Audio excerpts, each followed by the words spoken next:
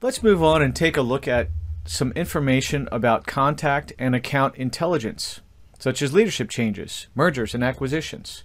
Hint provides a lot of information that also helps us with the, with the relationship intelligence part.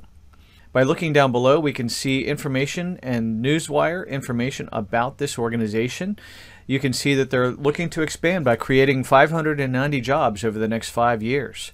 We can see other information about the investments that are coming into this company and how does this help us understand more about them. We can also go to Triblio. We can see information that talks about their intent on buying in applications that we are selling. And this helps us understand a little bit about their search intent and what does the timeline look like of their visitation to our website.